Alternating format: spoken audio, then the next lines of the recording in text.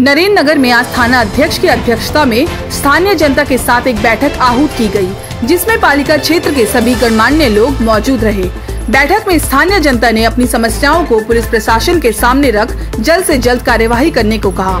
महोदय द्वारा जो मीटिंग थाने में बुलाई गई उसमें हमारा प्रमुख मुद्दा ये था कि जो नैन नगर रानी पुखरी जो रोड बनी हुई और चंद्रभागा पुल जो वहाँ पर बना हुआ वहाँ पर जो है कि बाहर से अ, जो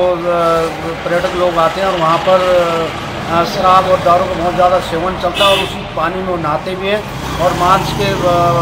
टुकड़े और बर्तन वगैरह सब धुलकर उसी पानी में डालते हैं और वही पानी पीने के लिए नगर वासियों के लिए आता है। जबकि ये बड़ा सोचने विषय और वहाँ पर हमने इनको ये कहा है कि भाई वहाँ पर आप बारह बजे से और शाम के चार बजे तक एक दस पुलिस द्वारा लगाई जाए ताकि इस प्रकार के जो लोग वहाँ पर आते हैं रोका जा सके और नए नगर की जनता को शुद्ध और स्वच्छ जल पीने के लिए उपलब्ध हो सके।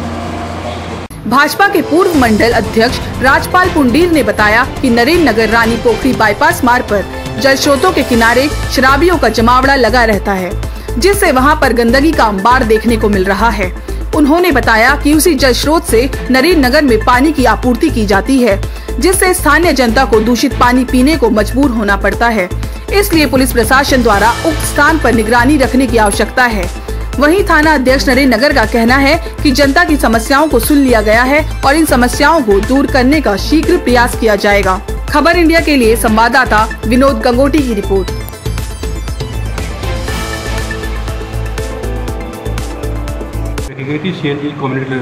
थी तो पुलिस और पब्लिक का जो लाइजन बढ़ाने के लिए मीटिंग रखी गई थी। आपस में कई समस्या ऐसी होती जो पब्लिक को बताओ तो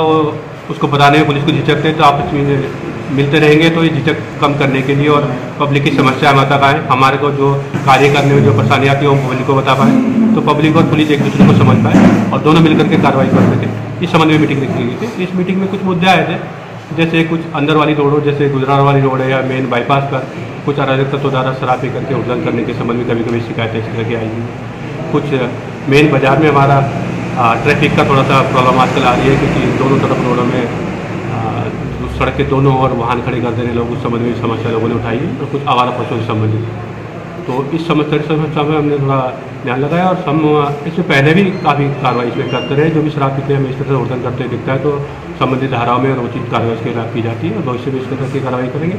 और आवारा पशु उसके संबंध में नगर पालिका से पता था नवयुवक जो नशे की तरफ़ जा रहे हैं, उनके लिए क्या कार्रवाई की जाएगी आपके पास? अभी तो हमारे यहाँ काफ़ी समय से पिछले लगभग एक साल से काफ़ी इसमें चल रहा है कि नशा विरोधी अभियान के तहत हम स्कूलों में भी जाते हैं, पॉलिटेक्निक में जाते हैं जो इंटर कॉलेज है और इसके संबंध में हम बच्चों के गार्जियन वगैरह से भी समय समय पर बात करते हैं। तो हम एक अभियान इसमें चला रहे हैं कि लोग जागरूक हों, इसको छोड़ें। बाकी इसमें कोई लाने वाला है इसको सप्लाई करने वाला है उसको भी हम नज़र रख रहे हैं जिस तरह की हमको कभी ये पकड़ में आता है तो हम उसके खिलाफ उचित करेंगे